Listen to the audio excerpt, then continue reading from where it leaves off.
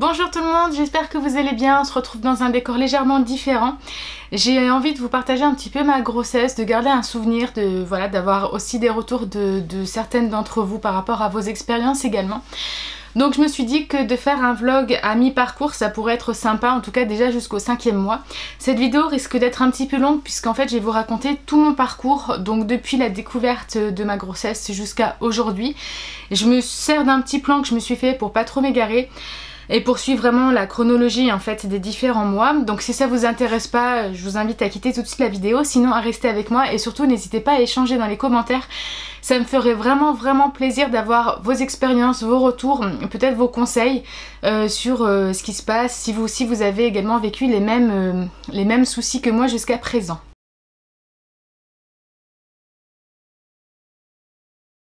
Alors j'ai découvert que j'étais enceinte début mars, donc suite à un retard de règles tout simplement. J'ai fait un test de urinaire, euh, puis une prise de sang qui euh, ont confirmé que j'étais bien enceinte, donc euh, d'à peu près 2-3 semaines.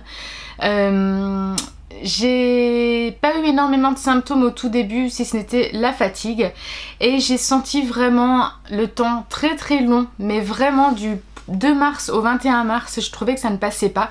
Pourquoi? Parce que tout simplement le 21 mars, j'avais ma première échographie, donc pelvienne avec ma gynéco, qui allait confirmer donc s'il y avait bien un, un embryon et si l'œuf était bien dans l'utérus. Donc voilà, première grossesse, c'était quand même le stress et j'étais très très impatiente d'avoir les résultats, de savoir si tout allait bien. J'ai vu mon ostéo dès le début de la grossesse puisque j'avais très mal au dos, donc euh, c'est une ostéo spécialisée pour les femmes enceintes principalement. Et du coup, je la vois quand même tous les mois depuis puisqu'elle m'aide à remettre en place mes différents organes. Elle travaille sur mon diaphragme, sur mon estomac, sur mon côlon, sur mes intestins, et également sur mon sacrum qui est fragilisé depuis que j'ai été opérée du dos il y a 3 ans et sur le bassin. Donc c'est vraiment super, je suis vraiment contente de, de nos séances. C'est je passe une heure à chaque fois avec elle, je l'appelle quand j'en peux plus, vraiment. Et souvent on se voit une fois par mois, à la base j'espérais moins, mais voilà, c'est vraiment en fonction de mon état corporel. Alors les symptômes pour le premier trimestre, donc comme je vous disais j'ai une immense fatigue, euh, c'est totalement vrai cette légende, comme quoi les femmes enceintes sont très fatiguées durant le premier trimestre. Je m'endormais très tôt, genre à 19h30 jusqu'au lendemain matin. Euh, mon chéri me réveillait juste pour dîner le soir. Et c'était très dur au travail aussi puisque j'avais très souvent envie de somnoler. Euh, je dormais pendant mes pauses entre midi et une heure pour récupérer un petit peu et aller à mon rythme également. J'ai senti pas mal de tiraillements donc au niveau du bas-ventre, euh, donc je me suis dit que c'était totalement normal puisque l'utérus se prépare à se développer et à accueillir le bébé. Euh, et j'avais également les seins douloureux. Euh, ils n'ont pas vraiment pris point de taille. Je pensais qu'ils allaient grossir. Et finalement, ça va. Pour l'instant, ils n'ont pas grossi. Ils étaient juste très très tendus. J'ai également eu quelques infections urinaires depuis le début de ma grossesse, donc ça c'est plus problématique puisqu'il faut faire une surveillance assez régulière, donc tous les mois j'ai le droit à des analyses d'urine en laboratoire avec les résultats, des traitements spéciaux en fonction des résultats. Donc euh, j'espère que voilà la prochaine analyse que je vais faire ça va être la semaine prochaine que ça aura réduit, que je n'en aurai pas, euh, sachant que ça peut totalement revenir en dernier trimestre. Donc tout ça pour les personnes qui ne savent pas encore, c'est lié aux hormones de grossesse, donc il n'y a pas forcément à s'inquiéter, il faut juste faire une surveillance, éviter que les, les infections reviennent surtout au dernier trimestre pour, euh, je crois, pour éviter les, naissances prématurées. J'ai été pas mal angoissée parce que tout était nouveau, ça m'était jamais arrivé, je savais pas trop comment procéder avec mon copain. Euh, du coup, ça a été un gros questionnement sur la maternité, où m'inscrire. Donc si vous, ne le savez, si vous ne le savez pas, j'habite à Lyon et on a le choix en hôpitaux publics, en hôpitaux privés on a deux hôpitaux, donc une clinique et un hôpital euh, spécialisé dans les accouchements. Je regardais des avis, alors sans m'y tenir à fond, mais voilà, je savais pas trop. Euh, j'hésitais pour ceux qui connaissent entre une Atesia, euh, entre HF, j'arrive jamais à le dire, HFME, donc les deux sont à Bron et Lyon 8, et avec la Croix-Rousse qui est quand même un hôpital de niveau 3, très bien réputé. Donc finalement après discussion, euh, mon conjoint m'a emmené voir l'hôpital de la Croix-Rousse puisque finalement géographiquement c'est le plus près de chez nous, le plus pratique puisque en soi on est à un quart d'heure de l'hôpital et on a trois chemins différents pour y accéder si jamais on doit partir aux urgences pendant les, euh, pendant les, heures de pointe. Et j'ai beaucoup aimé cet hôpital, les lieux, le cadre. Et je me suis dit que oui, euh, finalement c'est là-bas que je voulais accoucher. C'était ma première intuition. Et donc je me suis inscrite dans cet hôpital. L'accouchement est prévu début novembre. Euh, et, voilà, et donc pendant le premier trimestre également, j'ai pris 1 kg. Donc euh, j'ai réussi à stabiliser. Alors faut savoir aussi, euh, pour ceux qui ne me connaissent pas, que j'ai déjà un surpoids de base. Mon IMC est quand même à la limite, est à 30, donc je suis vraiment à la limite de l'obésité, même si ça, ça se voit pas forcément. Euh, donc voilà, je dois faire attention à beaucoup de choses. Je sais que ma prise de poids pendant la grossesse est limitée. Il faudrait pas que je dépasse les 9-10 kg maximum. Donc c'est pour ça que je fais très attention, même si je me permets des écarts, des petites euh, glaces, quelques gâteaux. Premier trimestre j'avais quand même quelques fringales donc je me suis un peu plus lâchée mais je me suis vite ressaisie en deux semaines. Euh, j'ai essayé de bouger donc je pense que c'est pour ça que j'ai pris aussi peu et ça ne m'a pas inquiété non plus par rapport au bébé puisque je sais qu'il se développait normalement et que j'ai des réserves dans lesquelles il peut piocher.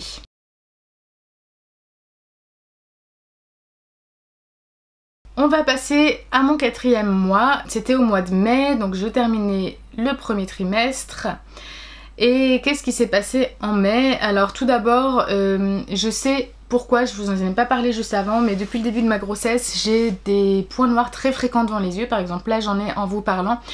Et j'ai également des maux de tête très fréquents. Et lorsque je j'énumérais mes symptômes à ma gynéco ou mon docteur, en fait personne n'a percuté. Et c'est quand j'ai dû appeler SOS médecin, alors pourquoi SOS médecin? Parce que mon médecin n'a pas pu me recevoir le jour même, donc j'ai appelé SOS médecin. Parce que c'était suite à un week-end où j'avais passé tout le week-end à avoir mal, à me gavé de doliprane puisqu'on n'a pas trop le choix quand on est enceinte. Et j'ai préféré prendre euh, voilà, mes précautions. SOS médecin est venu et en fait ils m'ont indiqué que je faisais un début d'hypertension. Ma tension était à 14,8. Euh, vraiment le début début c'est plus 14,9 d'après mes recherches mais ils ont préféré voilà que je me repose. Donc il m'a arrêté 3 jours. C'était juste avant les Imaginales, donc le grand salon littéraire si vous n'êtes pas euh, des lecteurs euh, assidus de l'imaginaire qui se déroule dans les Vosges. Et j'avais pris donc des jours pour le festival et une semaine de vacances après. Donc ça m'a fait 15 jours de repos, ça m'a fait du bien. Ça m'a permis de reprendre le travail, mais par contre, tout le monde m'a prévenu, enfin tout le monde, le corps médical m'a bien prévenu que si j'ai de nouveau ces symptômes et surtout si j'ai de nouveau de la tension, c'est arrêt jusqu'à euh, l'accouchement.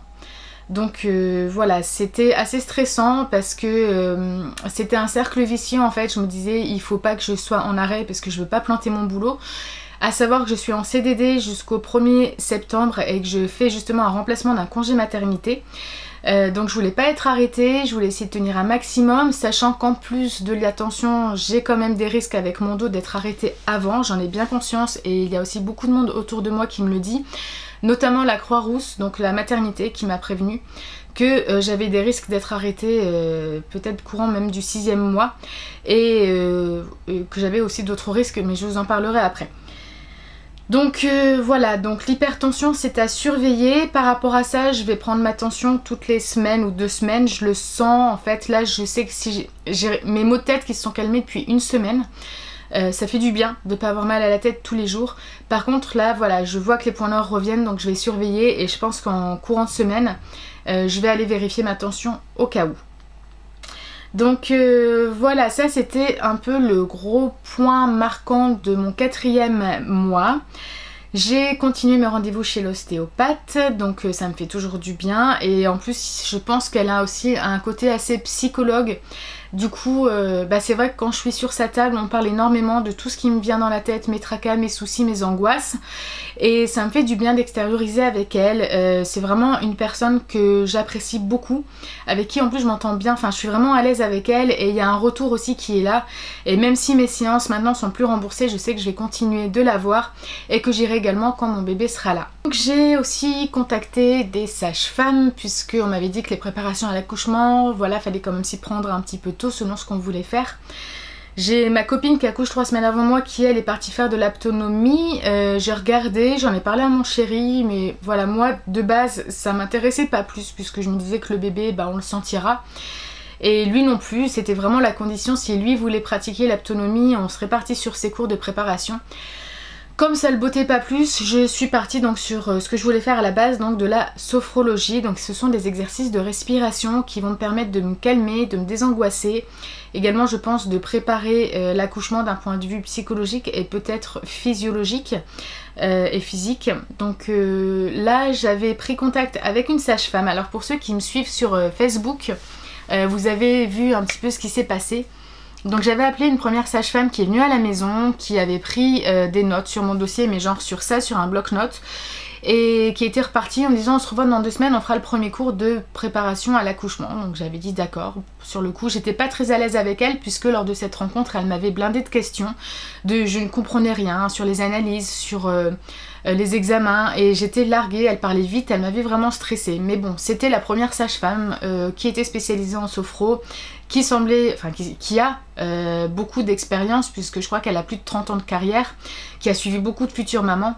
Et j'avais laissé faire, je me suis dit on verra le premier cours de Sophro. Le cours en soi s'est bien passé quand elle est revenue deux semaines après puisque j'ai bien senti quand même les effets, j'ai bien réussi à visualiser une image où je me sentais bien, où je, me projetais très facilement, la chaleur au niveau du dos et du bassin, mais euh, j'étais quand même toujours pas à l'aise avec elle, euh, je me sentais pas, par exemple par rapport à mon ostéo, je me sentais pas en confiance, j'avais pas envie de lui raconter mes, soucis, mes tracas, euh, mes joies, mes questions. Donc euh, voilà, j'en ai parlé un peu autour de moi. J'ai commencé à chercher une autre sage-femme que j'ai trouvée qui pratique aussi la sophro. Et donc j'ai rappelé la première en lui disant avec diplomatie, je voulais pas lui dire que j'avais pas le feeling avec elle, mais que je changeais de technique. J'en avais parlé avec mon conjoint et qu'on voulait partir sur autre chose. Et là-dessus, elle s'est emballée en disant Ah oui, vous allez faire de l'autonomie, mais vous allez voir, c'est nul, c'est pas bien, ça vous prépare en rien, c'est des mensonges. Donc j'ai essayé d'orienter autrement en disant il y a le yoga prénatal qui m'intéresse aussi, mais ça aussi c'est n'importe quoi. Enfin, elle a été odieuse dans le sens où elle sait que j'étais anxieuse, euh, qu'il faut pas stresser les femmes enceintes. Et en plus, elle a complètement dénigré ses collègues de travail sur leurs différentes pratiques. Et ça, les trois là, j'ai vraiment pas accepté. Donc ce qui m'a permis de confirmer que j'ai bien fait de suivre mon instinct et de changer de sage-femme. Et j'ai rencontré la nouvelle sage-femme et ça s'est passé super bien et là je la revois courant juillet donc je vous raconterai la deuxième rencontre et le deuxième cours de préparation en juillet. J'ai également pu faire, alors euh, c'était long, hein, euh, ma gynéco me l'a donné vraiment le dernier jour du troisième mois, donc j'ai vraiment pu faire aussi la déclaration à la CAF et à la sécurité sociale, ma déclaration de grossesse, donc euh, j'attends toujours des réponses. j'ai reçu un petit petite confirmation de la sécurité sociale, le dossier de la CAF pour déclarer. Euh, enfin, c'est comme si on faisait une déclaration, enfin pour la déclaration de ressources en fait, voilà. Donc là, j'attends la suite. Euh, je sais pas du tout en quoi, euh, à quoi je dois m'attendre. Et courant du quatrième mois aussi, avec mon chéri, on a commencé à faire du tri dans la maison, puisque là, on est actuellement dans un T3 et qu'on a une des deux chambres qui est occupée par le bureau, donc on a pas mal de tri à faire. Et j'ai pas mal viré déjà, et on va continuer comme ça jusqu'à la naissance du bébé. Quatrième mois, donc euh, j'ai pris un kilo. Donc résultat des courses, euh, j'étais à 2 kilos pris depuis le début de ma grossesse. Très fière de moi, très contente, euh, vraiment satisfaite puisque voilà, comme je vous dis, j'ai du surpoids, je suis pas forcément bien dans mon corps. Le fait d'avoir tous ces changements, c'est difficile. Trouver des vêtements de grossesse, je pensais que c'était plus facile même en, en faisant une taille au-dessus de 44. Or, ce n'est pas le cas. Je suis sortie plusieurs fois des magasins en larmes, contrariée, parce que euh, tous les magasins s'arrêtaient à 44, voire 42. Et ça m'a complètement frustrée et énervée. Et du coup, euh, voilà, jusqu'à présent, j'ai seulement acheté un jean de grossesse en début de grossesse et un haut, euh, même un haut d'hiver, donc c'est même pas un haut d'été. un deuxième chemisier aussi que ma maman m'a offert. Et c'est tout. Parce que tout le reste, si, si je trouve des vêtements, c'est pas beau ou alors il n'y a pas ma taille. Donc euh, voilà, j'ai pas envie non plus de ressembler à une vieille mémère. Donc euh, voilà, pour l'instant euh, je fais comme ça, sachant qu'une collègue de ma mère m'a donné des vêtements grande taille qui font l'affaire pour l'instant, donc on verra jusqu'à quand je peux les mettre. J'espère que vous êtes toujours là, donc comme je vous dis, hein, n'hésitez pas à me faire part aussi de vos expériences si vous aussi vous avez de l'hypertension, des problèmes de dos, tout ça, tout ça dans les commentaires.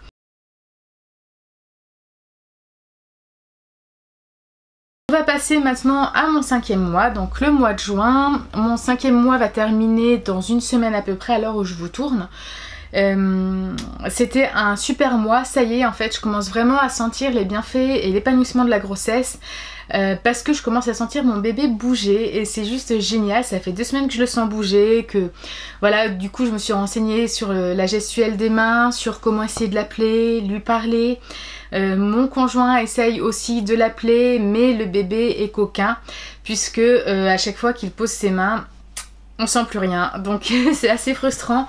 Et sachant que j'ai quand même, donc comme m'a dit ma sage-femme lors de la deuxième écho, une paroi abdominale assez renforcée. Euh, je pense qu'il faudra que le bébé grossisse un petit peu avant que mon chéri puisse se sentir. Euh, en tout cas, c'est génial. C'est quelque chose de très épanouissant de sentir son bébé. C'est incroyable. C'est c'est vraiment une fusion, une connexion. Euh, j'adore. Encore ce matin, je l'appelais, je, jouais avec. Euh, c'est trop mignon et ça concrétise vraiment le fait qu'on va avoir un bébé et qu'il y a un petit être qui grandit en moi et c'est vraiment euh, fantastique. C'est quelque chose que j'ai toujours trouvé fabuleux dans la grossesse de se dire qu'on a un petit, petit bonhomme ou petite fille qui grossit en soi. C'est juste dingue comme la nature elle est faite. Et ça y est, à mon tour de sentir euh, tous ces mouvements, tous ces gestes. Donc pour l'instant c'est très léger, c'est des petits poums. J'en profite beaucoup, ça fait du bien. Donc j'ai passé la deuxième écho il y a même pas une semaine et je vais pas euh, attendre plus longtemps pour vous dire le sexe puisque je vais commencer à faire des boulettes. Euh, alors la deuxième écho ça a été compliqué parce que le bébé n'arrêtait pas de bouger. Donc je ne connais ni son poids ni sa taille. apparemment tout va bien on va dire à 90% euh, la gynéco a pu prendre les mesures du cœur, de la vessie, des reins, de la colonne vertébrale, enfin tous les organes. On a aperçu ses pieds et ses bras. Il arrêtait pas de bouger donc c'était vraiment difficile. Et elle m'a dit à 90% que c'était une petite fille. Donc on est très heureux, sachant qu'à la base on n'avait pas de préférence. J'avais rêvé deux fois que c'était une petite fille, j'avais quand même plutôt une intuition que c'était un garçon, c'est-à-dire que euh, quand je me projette avec l'enfant, je voyais un garçon. J'arrivais pas à voir une petite fille. On avait trouvé le garçon du prénom très vite, en 5 minutes, c'était réglé. On était tous les deux d'accord sur un prénom qu'on adorait tous les deux. Voilà, donc du coup des petits signes comme ça. Euh, je pensais que c'était un garçon, en fait non, c'est une fille et c'est génial. C'est, je pense, peu importe le sexe en fait, c'est juste génial parce que c'est pareil d'avoir la nouvelle de connaître le sexe, ça concrétise encore plus. Et résultat, euh, hier on allait faire nos premiers achats de vêtements. Alors je vous mettrai peut-être une photo juste d'un vêtement euh, dans la vidéo euh, parce qu'on a complètement craqué mais là je suis pas, l'ai pas préparé pour vous la montrer sur une petite cape d'hiver absolument adorable, toute chaude avec une capuche et des petites oreilles, enfin je suis complètement fan et gaga de euh, cette cape et on a acheté 2 trois autres vêtements mais ça je pense qu'il n'y a, pas, a trop lieu de vous les montrer hum, en tout cas voilà ça y est les premiers achats sont faits et c'est juste génial donc j'ai une de mes amies aussi qui m'a déjà prêté des vêtements de ses filles euh, vu qu'elle a deux filles aussi, donc euh, c'est top. Euh, ça, on commence à avoir une toute petite réserve et c'est super. Voilà, par rapport à l'échographie, on n'en sait pas plus. Elle nous a demandé de revenir le 1er août quand le bébé aura grossi. Et peut-être qu'elle bougera un peu moins parce que là, elle a vraiment galéré, la, gynéco, pour pouvoir continuer de prendre toutes les mesures, d'être certaine que le bébé va bien et pouvoir nous donner aussi un petit peu des nouvelles. Donc c'est génial puisqu'on va la revoir dans 5 semaines. Même pas maintenant, oui, à peu près 5 semaines. Euh, sinon, en juin, euh, j'ai eu euh, très chaud, comme beaucoup d'entre vous. Donc j'avais pris la décision, s'il y avait la canicule, de ne pas aller travailler. Parce que les bureaux ne sont pas climatisés, parce que les transports, les métros ne sont pas climatisés. Et que c'est hyper étouffant, sachant que je suis quand même très essoufflée depuis le début de ma grossesse. Euh, c'est quelque chose aussi qui m'avait inquiété, donc maintenant je le vis un peu mieux parce que j'ai mieux compris comment ça marchait, etc. Avec les vaisseaux sanguins, avec le transfert, euh, voilà, du, la circulation du sang, la circulation de l'oxygène entre moi et le bébé. Donc voilà, je me dis que c'est provisoire, ça va passer, je vais tenir le coup à ce niveau-là. Mais j'ai dit par contre s'il fait chaud, non, je n'y vais pas. Euh, donc je me suis fait arrêter 15 jours à peu près. Donc il y avait et pour la chaleur et aussi parce que mon dos me faisait un peu mal. Donc je préférais me reposer. Et j'étais mieux à la maison, dur dur moralement, puisque euh, j'étais dans la pénombre pendant une semaine, à pas utiliser de source de chaleur. Mais j'ai ressenti quand même les bienfaits, puisque c'est à ce moment-là que mes maux de tête se sont arrêtés et mes points noirs aussi. J'ai repris le travail euh, mercredi euh, en prévenant tout le monde que je testais. C'était un retour provisoire, euh, que ça dépendait vraiment si j'arrivais à me lever le matin ou pas, et qu'il y avait des risques de toute façon que je sois arrêtée très bientôt. J'espère aller le plus loin possible sincèrement parce que c'est un boulot que j'aime beaucoup. C'est une équipe avec qui je m'entends bien et ça me fait du bien d'être au boulot avec eux moralement, même si voilà on peut avoir la pression et tout. Euh, c'est quand même un taf dans lequel je m'épanouis bien et du coup c'est pour ça que j'aimerais rester encore un moment. Sachant que mon contrat s'arrête dans deux mois et qu'après ben, je les revois pas. Enfin en tout cas j'irai les voir avec le bébé. Euh, peut-être essayer de me positionner l'année prochaine sur un autre poste. Mais euh, voilà, j'espère encore être avec eux un petit moment. J'ai eu aussi un rendez-vous avec une diététicienne de l'hôpital puisque euh, l'autre facteur voilà qu'à l'hôpital on m'avait dit c'est que j'ai euh, trois facteurs de risque d'avoir le diabète gestationnel. Donc jusqu'à présent dans mes analyses mon taux, de, glucose était faible mais euh, les trois facteurs sont mon âge puisque j'ai 34 ans donc à partir de 32 ans je crois qu'on a un risque supplémentaire mon surpoids et le fait que mon papa est diabétique. Euh, on ne sait pas si c'est vraiment héréditaire ou si c'est dû à une cause euh, médicamenteuse quand il a lui-même été opéré. Mais voilà, on m'a dit d'être vigilante, faire attention. Donc comme j'ai des consultations gratuites, j'ai préféré anticiper. Aller voir la diététicienne qui m'a expliqué comment équilibrer mes repas, tout ça. J'ai pas encore vraiment équilibré mes petits déj. Euh, je me suis rendu compte que je mangeais trop d'apports en fruits qu'il faut que je mette les limites à 3 voire 2 d'après ma gynéco. Mais je pensais pas que quand je prends mes céréales aux fruits euh, je bois un jus de fruits euh, je mange des cranberries pour les infections urinaires et tout ça c'est des fruits et j'avais pas conscience en fait. Donc il faut que je modifie un petit peu ça que je prenne aussi plus de céréales complètes ou de pain complet le matin. Sinon le reste du temps, voilà, mes repas sont assez équilibrés. Je mange qu'une protéine par jour en général. J'essaie de manger un peu tout le temps des féculents aux deux autres repas, des légumes aussi. Et, euh, des laitages, je suis à 3 ou 4 laitages par jour. Donc tout ça, ça va bien. Je pense que j'aurai pas énormément d'efforts à faire. Euh, juste si je dois complètement arrêter le sucré, ça risque d'être un peu difficile par moment, surtout l'été avec l'envie de glace. Mais euh, voilà, quand il y a le bébé, qu'il y a la santé qui est en jeu, je pense que c'est beaucoup plus facile à, appliquer les règles. Euh, j'ai commencé aussi, donc, euh, qu'est-ce que je voulais vous dire? Non, j'ai pas commencé. J'ai acheté quelques livres que je vais vous montrer. J'en ai acheté trois.